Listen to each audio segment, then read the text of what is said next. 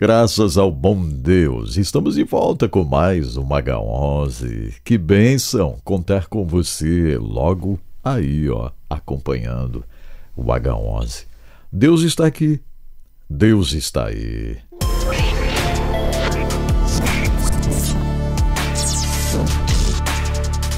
A tecnologia tem trazido para nós tantas coisas interessantes, né?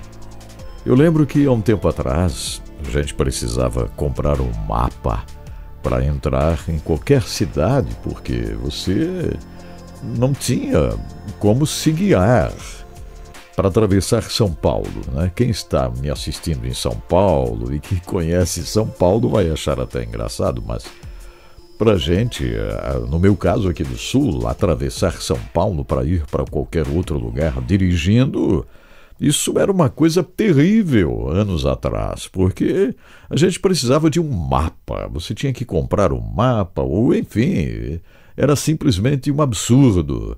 E fiz isso algumas vezes atravessando São Paulo para ir ao Vale do Paraíba, e, enfim.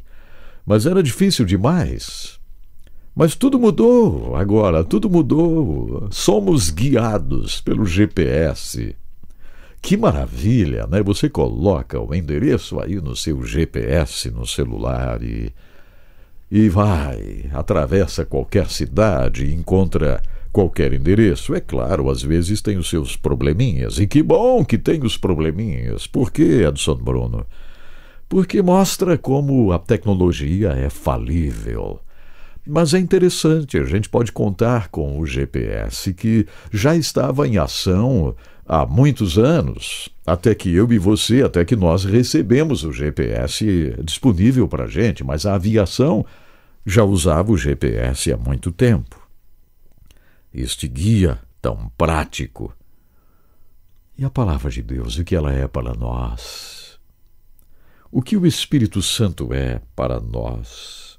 Eu gosto dessa palavra de Romanos 8, verso 14. Você já leu? Isso aqui é um daqueles textos que você deve sublinhar na sua Bíblia, se você gosta disso, e memorizar. Memorize esse texto, porque todos os que são guiados pelo Espírito de Deus são filhos de Deus. Isso significa que o Espírito Santo precisa ser exatamente o ponto central da nossa jornada aqui nessa terra. Nós precisamos do Espírito Santo como guia da nossa vida, e esse reconhecimento traz facilidade para a nossa jornada terrena. Muitas pessoas não conseguem ter esta facilidade na jornada terrena. Em tudo e para tudo encontram dificuldades. Desesperam-se, inclusive, porque esquecem dessa verdade maravilhosa. O Espírito Santo de Deus está à nossa disposição para nos orientar, para nos guiar é o Espírito Santo que sopra em nós detalhes de nossa vida. Ei, não vai dar certo isso aí. Não faça isso. Não faça essa mudança. Não vai funcionar. É o Espírito Santo que quer nos guiar, orientar para que a gente seja vencedor na vida. E olha só, gente, isso aqui não é uma palavra barata do Edson Bruno, que faz vídeos. Não! Isso aqui é palavra de Deus. Isso aqui é uma garantia de Deus. Eu não estou garantindo nada. Nada. Eu estou aqui, como você, mas, claro, atendendo a um chamado. Eu sou humano. Um pequeno cabelinho, um cílio, entrou no meu olho, mas eu não vi, não ele furou e entrou. Algumas semanas atrás. Isso foi terrível. Eu passei dias em uma situação terrível. E fui ao médico, e o médico, com aqueles equipamentos, aquelas luzes, começou a olhar. E disse: É, tem aqui algo, tem algo, ele disse. Tem algo aqui, é uma espécie de um cálculo, alguma coisa aqui. E ele olhou com bastante cuidado e disse: Espera aí, tem um fiozinho aqui de cílio, um cabelo, ele entrou aqui. Vamos tirá-lo. Eu nunca vi isso, disse o doutor, e tirou aquilo. Eu disse: O senhor tirou com a mão a minha dor. Ele disse: Opa, não, não, foi com a pinça. Aliviou completamente. Imagine só, nós somos humanos, nós sentimos dores, nós somos falhos. Mas a palavra de Deus não falha jamais.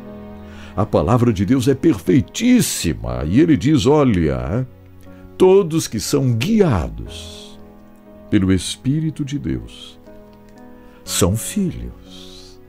Se você tem esse sentimento de, de querer ser guiado, orientado pelo Espírito de Deus, acredite, você é filha de Deus, você é filho de Deus e reconheça essa necessidade de dar ouvidos à voz do Espírito Santo de Deus. Busque isso.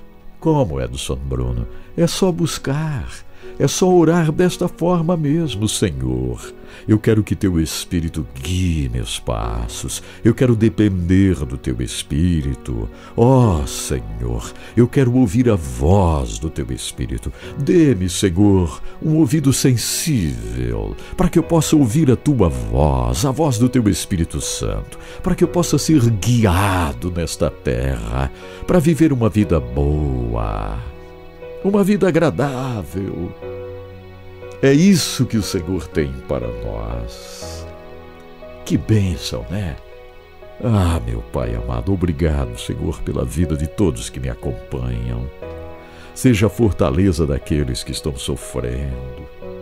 Seja o bálsamo para a ferida aberta, Senhor, desta querida, deste querido que me ouve agora.